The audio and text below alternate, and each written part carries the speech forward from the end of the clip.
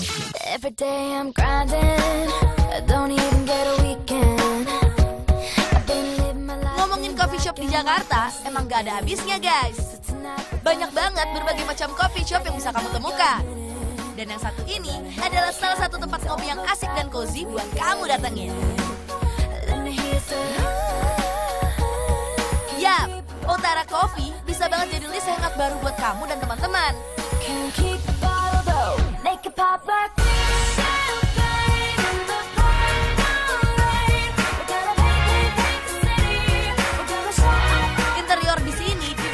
warna biru dan putih yang bikin pengunjung nyaman.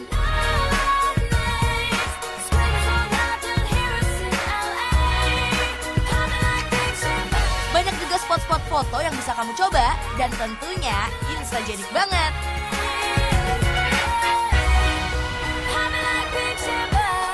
Uh, overall, menurut aku sih tempat ini very homey karena satu staffnya yang ramah dan juga mereka juga serve great coffee juga makanan yang juga enak dan itu sangat menunjang banget ya.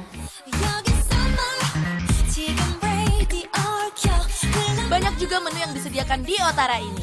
Check this out!